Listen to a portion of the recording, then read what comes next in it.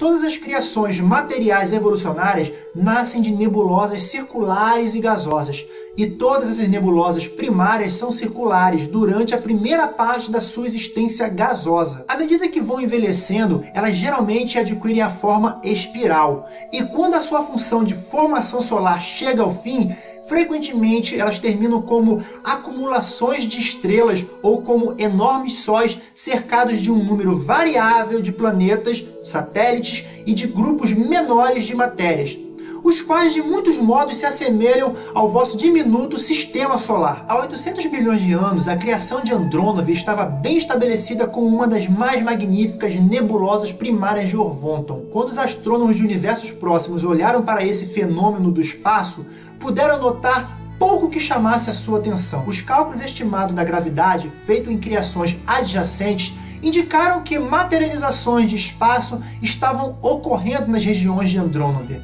Mas isso era tudo. Há 700 bilhões de anos, o sistema de Andrômeda estava assumindo proporções gigantescas e outros controladores físicos foram despachados para nove criações materiais circunvizinhas, a fim de proporcionarem o apoio e a cooperação aos centros de potência desse novo sistema material que estava evoluindo tão rapidamente. Nessa época longínqua, todo o material legado às criações subsequentes estavam sendo mantidos dentro dos confins dessa gigantesca roda de espaço, que continuava sempre a girar e que, após alcançar o máximo do seu diâmetro, movia-se cada vez mais rapidamente, enquanto continuava a condensar-se e a contrair-se. Há 600 bilhões de anos foi atingido o apogeu da mobilização de energia em Andronovi.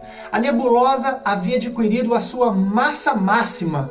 Nessa época, ela era uma nuvem circular gigantesca de gás, com um formato como de esferoide achatado. Esse foi o período inicial de formação da massa diferencial e da velocidade variável da circunvolução. A gravidade e as outras influências estavam para iniciar o seu trabalho de conversão dos gases do espaço em matéria organizada.